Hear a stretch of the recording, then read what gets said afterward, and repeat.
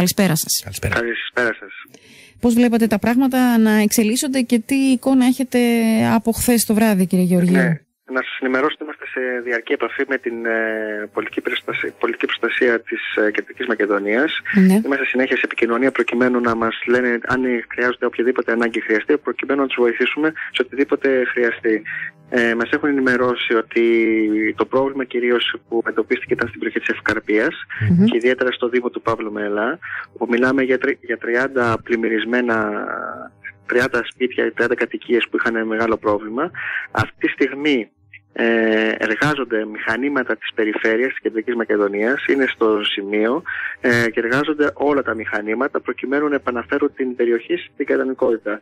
Ε, προτεραιότητα είναι να καθαρίσουν πρώτα το δικό δίκτυο και συνέχεια να μπουν να καθαρίσουν και τα, τα σπίτια που έχουν πρόβλημα.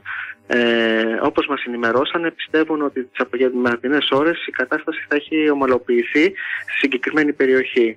Τώρα, όσο αφορά την ε, πυροσβεστική υπηρεσία, επίσης έκανε ενέργειες. Μπορώ να σας πω ότι έχει δεχτεί γύρω στις δέχτηκε 150 κλήσεις για αντλήσεις υδάτων, ε, από τις οποίες σε 150 κλήσεις, επειδή ήταν χαμηλή η στάθη, στις 29 ε, έγιναν οι ενέργειες και μιλάμε κυρίως για 25 περιπτώσεις αντλήση υδάτων. Επίσης, έγινε και κάποιες διασώσεις ε, ατόμων και δεν είναι αφορά διάσωση για κίνδυνευση ζωή, απλώς μεταφέρθηκαν σε ασφαλές σημείο ε, 9 άτομα από, από τα σπίτια. Μάλιστα. Έχετε εικόνα για την εξέλιξη του Παρασκευού Σαββατοκύριακου, έχετε ενημέρωση από την ΕΜΗ για κάτι το οποίο θα είχε σημασία να πούμε; Τα φαινόμενα σε εμάς αυτή τη στιγμή θα έχουμε και έντονα φαινόμενα εκτός την περιοχή της Μακεδονίας που είχαμε τις προηγούμενες ώρες.